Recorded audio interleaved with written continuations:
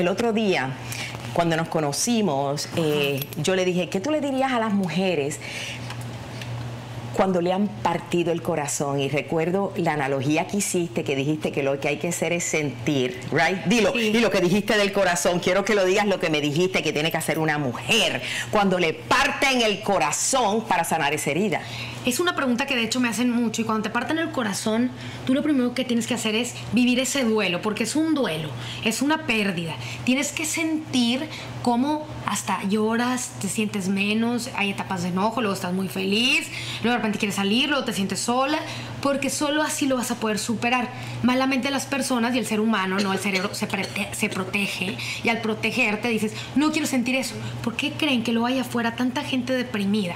Porque lleva el corazón roto y sangrando en la mano para todos lados, cargándolo, cargándolo. No quisieron llevar ese corazón a repararlo, a que sane, a ponerlo en incubadora, a darle un poquito de agua para que crezca, lo que tú quieras. No lo trataste con nada entonces lo llevas ahí roto para todos Así como ella, me lo dijiste así, llevo el corazón aquí sangrando, pero aquí lo llevo, no lo voy a sanar, sino que lo voy a, pero no le voy a decir a nadie, porque no lo quiero sentir, lo llevo aquí, no lo quiero sentir. Cuando hay que sentir ese dolor, y a mí me encantó ese consejo que me diste, porque es la verdad, en los momentos de dolor en la vida hay que dejar que se sienta. Ahora, no toda la vida, ¿por cuánto tiempo tú crees que debemos pasar ese duelo? ¿Dos años? ¿Diez años? No, no, no.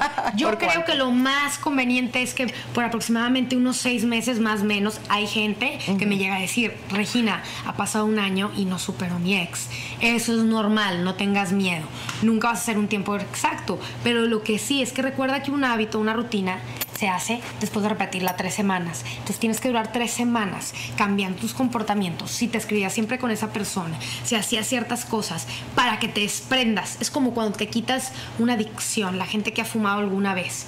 Duele ¿no? Es algo que te lo pide el cuerpo, pero eventualmente ganas salud, ganas paz mental y ganas más energía.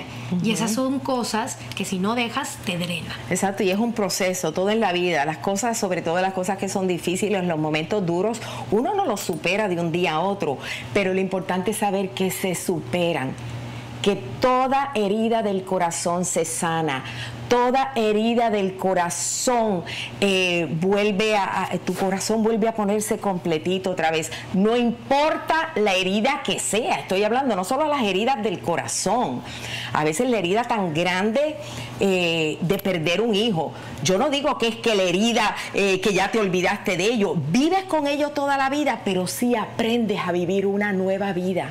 Y te das cuenta de que tu vida tiene sentido, te das cuenta de que puedes hacer una diferencia en este mundo. Te das cuenta que puedes ser ejemplo para otros.